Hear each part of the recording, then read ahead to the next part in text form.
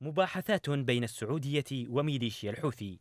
مسؤول سعودي يؤكد رسميا ولأول مرة أن بلاده تجري محادثات مع الحوثيين في مسعى لإنهاء الحرب في اليمن.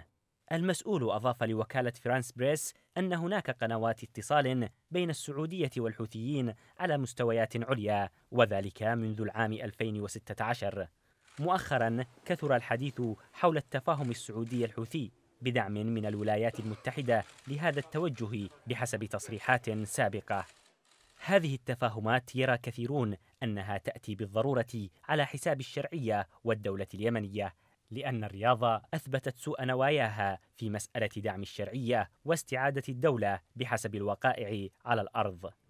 اتفاق الرياض الذي وقع حديثا يعد أحد شواهد انقلاب الرياض عن الثوابت الوطنية اليمنية والمرجعيات الثلاث وتنصلها عن الالتزامات التي تعلنها رسميا منذ انطلاق عاصفة الحزم. الاتفاق الذي ضغطت السعودية والإمارات على توقيعه وظهرت الدولتان على أنه برعايتهما يساوي بين الشرعية والمجلس الانتقالي ويظهرهما طرفين متصارعين على السلطة والنفوذ. ويشترط على الدولة أيضا التوافق والتشاور مع هذا الطرف قبل اتخاذ أي قرار أو تعيين. ليس استنادا لأي مسوغ سوى أن الإمارات والسعودية تقفان خلفه.